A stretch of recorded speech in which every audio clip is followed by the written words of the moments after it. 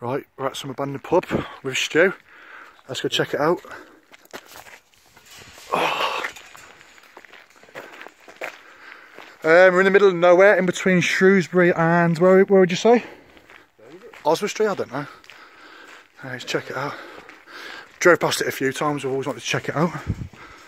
My name's Matthew McClafty and I'm with Stu Peters. Right, it's a bit scary. Right, let's go then. Fucking well creepy this is. Fucking hell. I don't even know how long this has been abandoned. Comment in the comments if you know the place. Oh, fuck me, look at this place. Literally.